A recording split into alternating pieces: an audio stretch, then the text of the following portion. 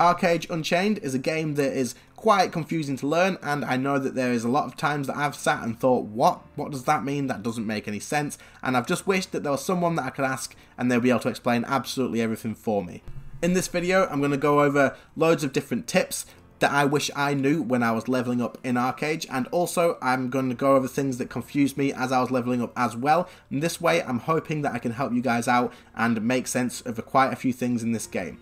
Now, this video is going to be pretty long as I'm going to be going into depth and explaining things in a way that hopefully will make a lot more sense for you guys. So I'm going to put timestamps in the description. If you are looking for a specific thing, for example, how labour works, or if you are just wondering exactly how gearing up works, or what Mirage Isles is, then you are going to be able to scroll down into the description and just go straight to that section. You don't have to watch the full video. If you are sort of looking and just want to find out loads about the game, then definitely do stick around watch the whole thing. But I really just want this video to help you guys out as much as possible and answer as many questions that you may have as possible as well. So if this video does help you out, make sure you like and subscribe, guys. A lot of time went into this, and I do hope that it does help you out. So, let's jump into these tips, and starting off with leveling up in ArcheAge.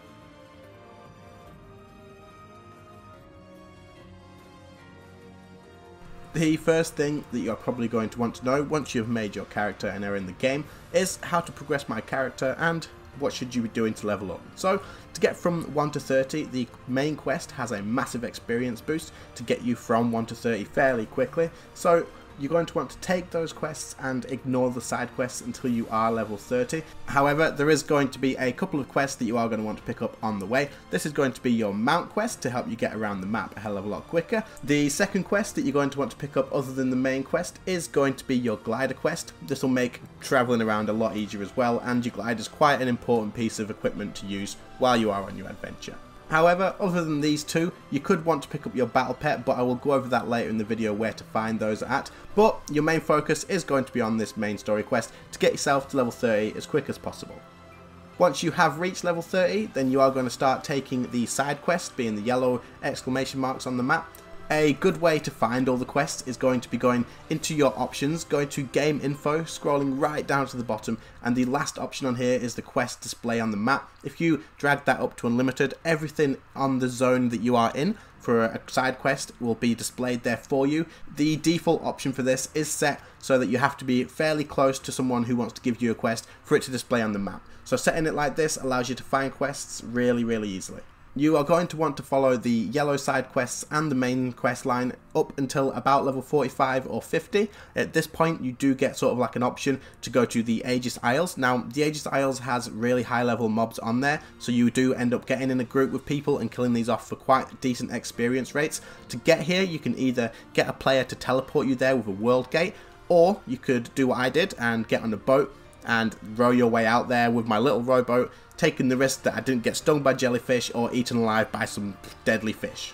The only other thing for me to mention on questing and leveling up is going to be at level 30, you are going to unlock your Blue Salt Brotherhood quest line. This is shown as a green leaf you are going to want to start this in Halcyona. This is going to give you your first farm, your 8x8 farm, and also take you along a proficiency line, for example alchemy, and it'll teach you sort of the basics of crafting, and it'll give you a lot bigger understanding of how all the crafting and stuff does work. If you pay attention to the quest line, it does pay off.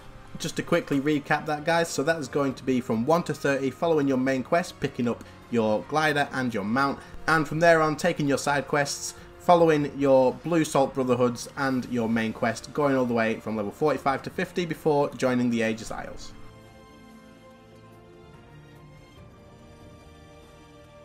So the next thing that I just wanted to talk about was how the map works and just quickly touch over it. I know it's fairly simple, but there's a few little things that you could sort of get confused on, and understanding the map is going to be fairly important. So just press M to open your map, and then it'll bring you into the zone and the town area that you are in. So if you want to right click off of that, it'll take you to the province that you are in, and then right click again, and it'll take you to the actual world map, and you'll see there's the three different provinces on here. Now, obviously, you will be on whichever side of the race that you're on if you are just starting. If you have travelled across, then you probably understand how the map works anyway. But on this screen here, if you then left click on whichever province you want to look at, so left click onto that and you'll get all the different sort of zones on there and it'll tell you the levels that's recommended for that zone. If you then click on the one that you want to go and look at, you'll then see it brings up all the icons on there and all the quests and all that sort of stuff in that area. Now, a useful thing to know for this, and the thing that I wanted to mention the most was on the right hand side you have this key here, and it says show icons. A useful thing to do is if you're looking for a specific thing, once you've zoomed in all the way, you'll notice that you can't always see everything on here, but a good way to sort of figure out where stuff is as you see it's all clumped up, is click on what you want to find. So if you're looking for a merchant, you drop that bar down. Look for a potions merchant, for example. If you tick that and untick it, you'll see on the map the potions icon is flashing as you click it, and it just sort of draws your attention to where it is. You can spot things a lot easier. If you want to find the general merchant, you can see there where exactly it is. Then you can take your mouse, shift and left click, put your marker on it, and then if you look on the actual main screen now, you can see exactly where that needs to go, and you can head there and find stuff very easily.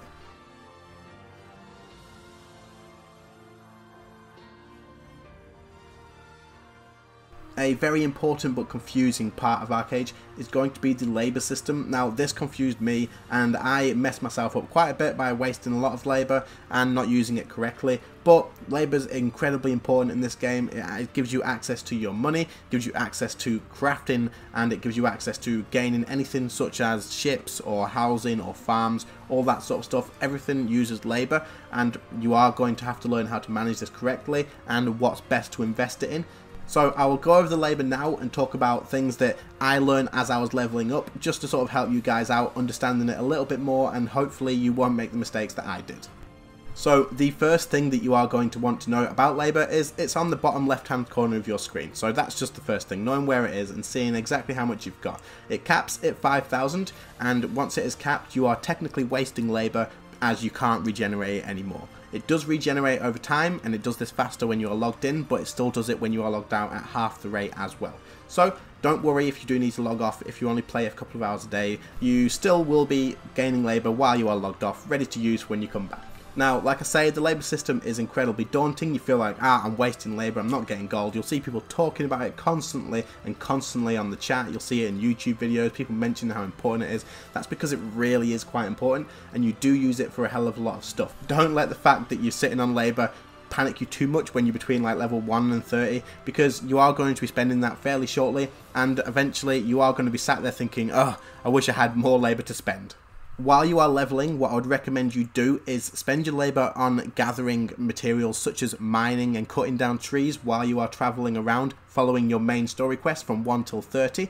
When you reach level 30 is when you're going to be able to spend some real labour properly, but it's all going to depend on your playstyle. So if you are playing a lot every day, say like 6 to 8 hours, then you are going to be able to manage it quite a bit more. As you are online, you're going to be generating more and you are going to be able to sort of progress more to see where you're going to spend it. If you are a casual player and you are playing maybe like 2 to 4 hours a day, then you are going to be using this and wanting to spend it, not letting it cap. It won't cap probably if you are playing more than four hours a day, I would say. But if you are only playing, say, two, one or two hours a day, then it's probably going to cap. And spending this at your Scarecrow Garden, which you will get from the Blue Salt Brotherhood questline, you can spend it on tax certificates, and you will be able to drain that fairly quick, so it's not capping, and you're constantly regenerating.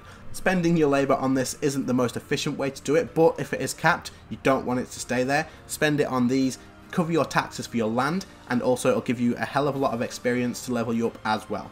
Now, the reason I mentioned all that at the first before telling you what you should be spending your labour on is because I know while you are levelling up, it's going to be on your mind worrying that you're not spending it and that it's all capped. And I just wanted to let you guys know that once you do reach level 30, you are going to be able to start managing it a lot better.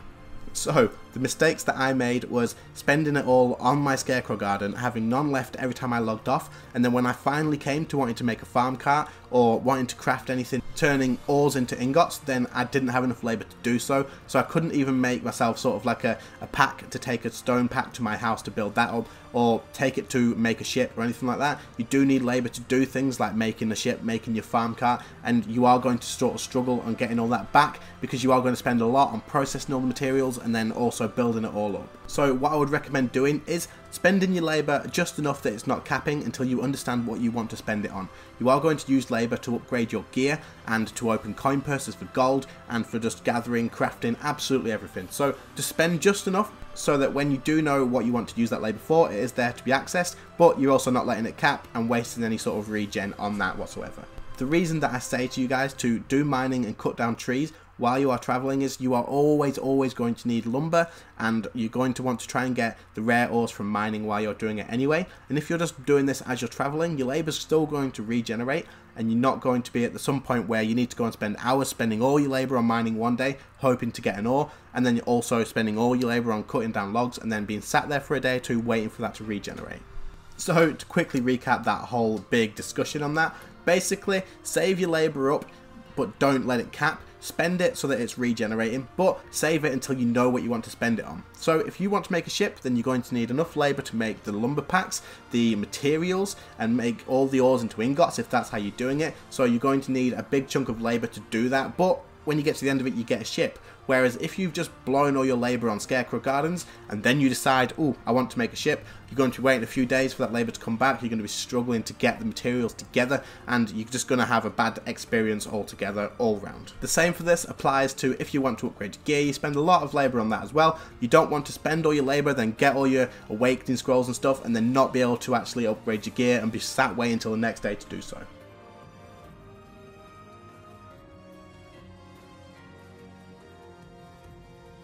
So the next thing to talk about is going to be the combat. Now this is something that didn't really confuse me too much, so hopefully you guys are finding it quite simple as well. However, there is a lot of abilities, a lot of classes and a lot of customization. However, you could go and ask someone what's the best sort of min-maxing for damage and whatever class you want to do, healing or tank or melee, whatever. But I mean, if you want to really just have fun, then just make the class that you want, that you think is cool. So look at all the skill trees and think, oh yeah, that looks like I could enjoy that, and that might go well with this, and just put it together like that. You'll find that most classes do seem to go pretty well anyway, and in my opinion, I would probably say to you guys that having fun with the class that you've built is probably going to be a lot more important than having the most available DPS whatsoever. I'm sure plenty of you guys don't agree with that and just think, no, I need to be able to do the most DPS or I need to be the best healer, but do what's going to be fun and, you know, go however, you feel down that road. But what I wanted to talk about was the only thing that really confused me in combat was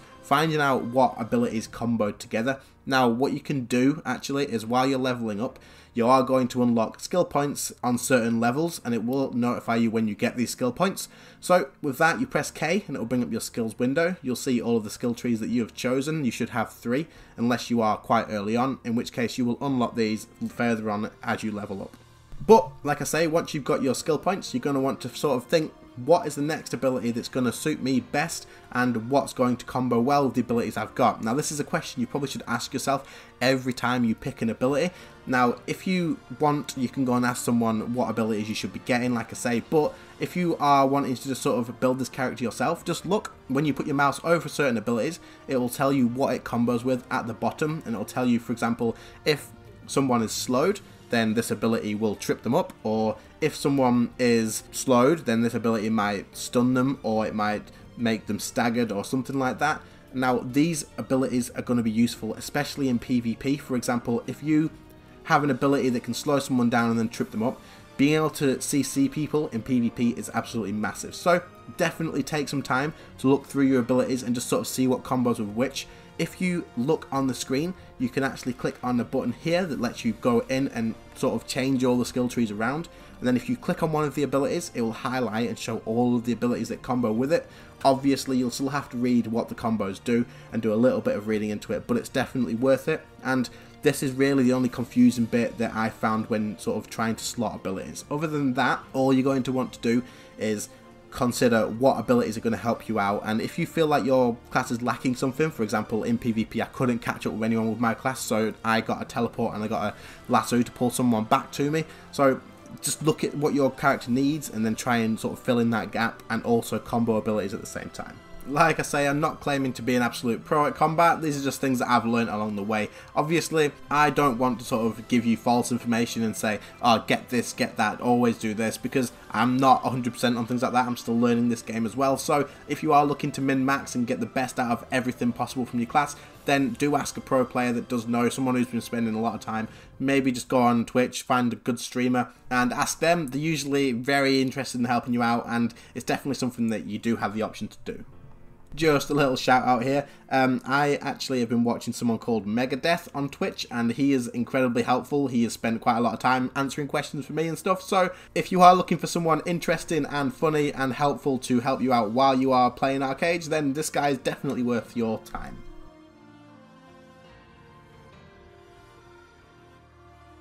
So the next thing that I wanted to talk about, seeing as we've just spoken about combat, is where you would find your battle pets. So these are quests that you're going to want to do probably before level 30 as well, just sort of how I mentioned about getting your mount and getting your glider.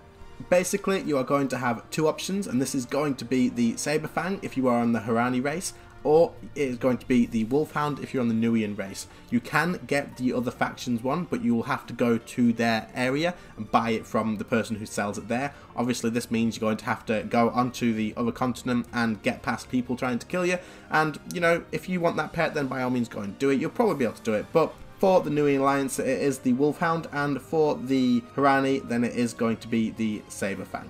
So I will just show you where to get these on the maps for each zone, just in case you've missed them, and they're definitely something that you're going to want to go back and get. So to get the Wolfhound, then you are going to want to go to Marianople. I do apologise for any names that I may pronounce wrong, but Marianople is the zone that you're going to want to go to, and then you're going to want to go to the little town called Dawn Silver, and there you'll be able to buy the Wolfhound for 10 silver from that vendor, or if you are on the Nuian Alliance, then you will be able to do the quest to get that for free if you are wanting to get the Saberfang from the Haranya Alliance, then you are going to want to go over to Villanelle, and this is going to be in Juan's Ranch. Now, when you get there, all you're going to want to do again is buy it from the vendor, or if you are from the Haranya race, then you can actually just do the quest and get it for free if you have missed it so far.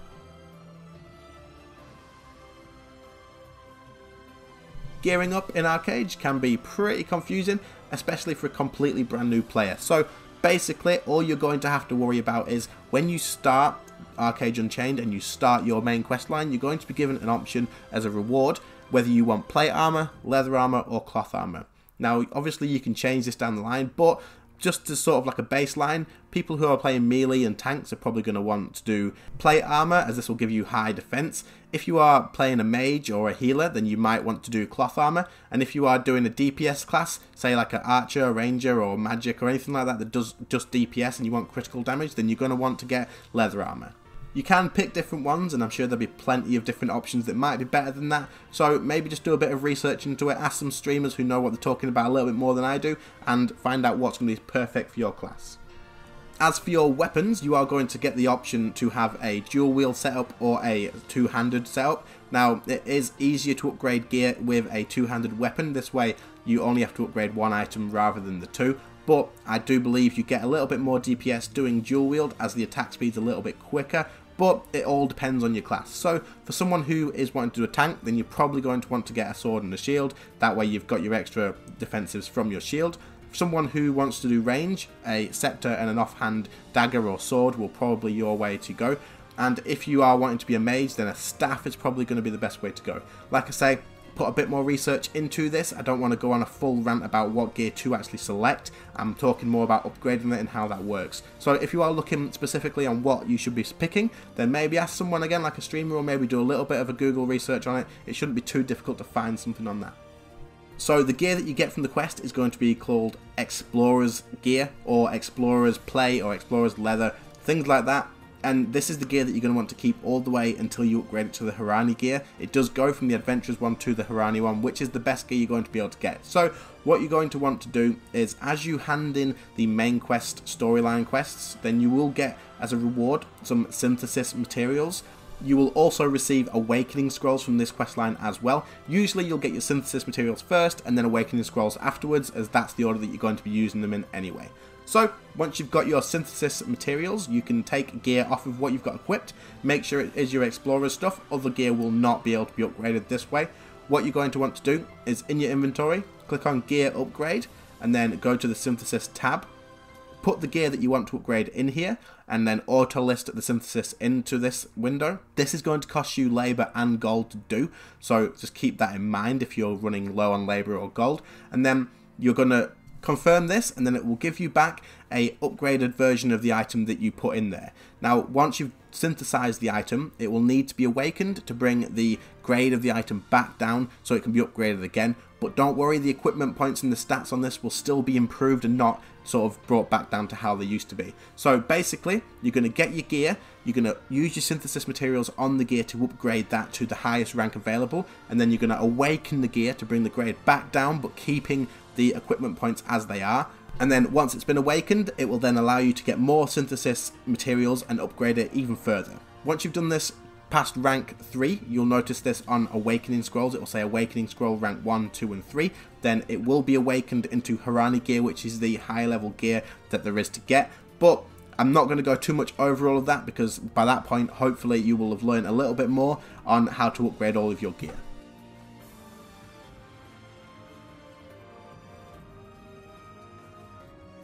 As you are leveling up from 1 till 30, you probably would have noticed people talking about getting a farm and what they are doing with the farm, and you probably heard about the land rush as you were sort of getting into the game, and you've probably seen player-owned houses around anyway. The farm is a very important part of your journey, really, and you are going to want to pick this up probably once you hit level 30. That way you can start spending a bit more labour on things that make a little bit more sense to the goals that you've set yourself. To get the Scarecrow farm, you are going to want to go to Halcyona at level 30. This will unlock the Blue Salt Brotherhood questline. You'll see this as a green leaf above an NPC's head. You'll also see it on the map as a green leaf as well. So you want to start this questline and do the quest that it tells you to do, which will take you from one side of Halcyona to the other. And then once you get to the end of that sort of intro to it, you will be rewarded with your Scarecrow Garden. Once you've got this, you're probably going to want to go and do a little bit of adventuring or exploring around to find some land that's actually still free for you to place this down. As a lot of people have taken up the land and the player-owned house places that you are able to actually place these down. But look on the map, the world map, and you'll see in each of the zones that you will have a little house icon on there somewhere and you will notice that this is the player owned house area that you are allowed to build in. There is certain places on the map that aren't marked but they're probably all full up by now anyway. So what you could do is ask in the nation chat if there's anywhere that's still got a, quite a bit of space free and they will probably inform you where to look anyway. Once you've found a nice home to settle down in and you've put your scarecrow garden down, you will notice that you get a small area that you can now plant stuff in. So if you head back to anywhere with vendors really, there should be something nearby where you've got your housing that you can go and you should be able to buy things like seeds, saplings and livestock, all that sort of stuff that you can put onto your farm. Now, what I would recommend you start planting probably straight away, and you've probably noticed that everyone else is planting the same thing, is these cedar saplings. Now, this is a tall tree, an evergreen tree by the look of it, and this is going to give you quite a lot of lumber. Lumber is incredibly important for crafting things like your ships or your farm carts that you do trading with. And also, if you plant these trees, you do get a chance at getting some Thunderstruck logs. It is quite rare, but if you do get it, then this will give you quite a bit of gold injection, and also you're going to need it to make things like your farm cart as well. So it is incredibly useful to start planting these straight away and sort of keeping on top of them, cutting them down and replanting them. And this way, you do sort of give yourself an advantage when you do come to needing a lot of labour and your Thunderstruck log.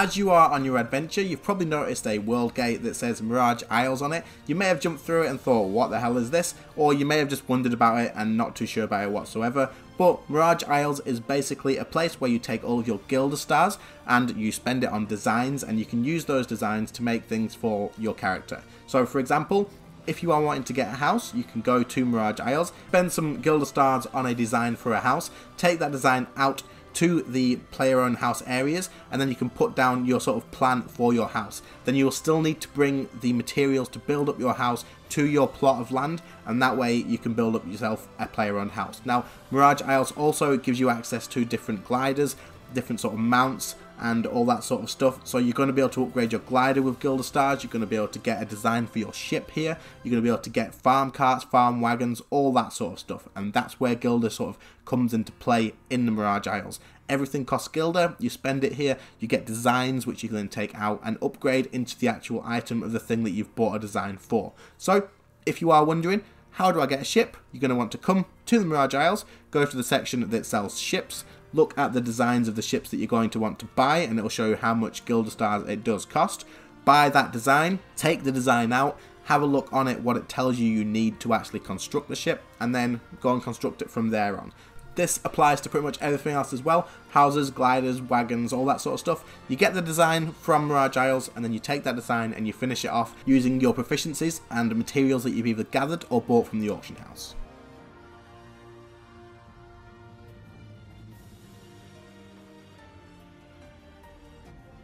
The last thing that I wanted to talk about as a tip for beginners, something that's quite confusing, was the folio knowing how and what you need to actually craft certain items. And this is all literally found in here. And once you understand how it works it does make it quite simple. It's still a lot to go into it. But once you know how the folio works which is really important then it does help you out on understanding what you need and what you need to do to actually make an item. So the folio you can access by pressing O on your keyboard. That will open this up. And then once you have done that, you can then find an item that you wanted to make. For example, if I type in here a novice fishing rod, then you're going to be able to see everything that you need to make that fishing rod. So whatever you are looking to make, you type it in the top here and it will give you the, the suggestion for what it is. Click on that and then find the actual item that you want to be making and then it will show you everything you need to make it. As you can see for the fishing rod, all the different bits that I do need to make this novice fishing rod is all here at the bottom. But if I then click on another part of this, so click on the fishing wire, it will then show me everything I need to make the fishing wire for this. So you can just follow this through and then eventually you're going to be able to have all of the different bits that you do need. So no matter what you want to craft, it's all going to be on here, including things like trade packs, your farm carts, anything to do with basic materials, making iron ingots is going to tell you how many ores you need, and it'll tell you how much labor it costs and all that sort of good stuff. So this is really important to understand. The folio will literally help you understand how to make anything, and it will just sort of make life a lot easier once you understand how the folio works. At first, I looked at this and thought, what the hell is this? I don't understand what this is, and I ignored it off. I didn't even think about it until later on, once I really just had to sort of look into it. But for you guys, if this looks really confusing, like I say, it's basically just search the item that you want, it'll show you what you need. If one of the things that you need is something that you don't really know how to make either, then click on that and it will show you how to make that item as well. So basically just build your way up to actually getting the items that you do need and then you can craft the item that you are wanting to make. I know this is quite confusing still, so if you do have any questions, just drop them in the comments and I'll do my best to sort of answer them and help you out on this subject. So that pretty much covers everything that I wanted to talk about in this video. As I was leveling up, there was a lot that confused me, and I do hope this video has sort of helped out on any sort of confusion that you may have while leveling up as well, especially if you are just right now getting into the game and you are confused by a hell of a lot. I do understand that that is a thing.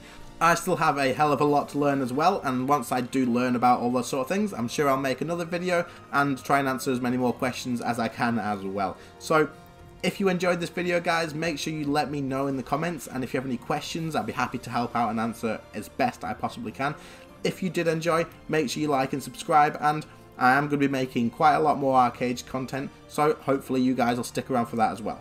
Thanks for watching guys, and I'll see you in the next one. See you later guys, bye.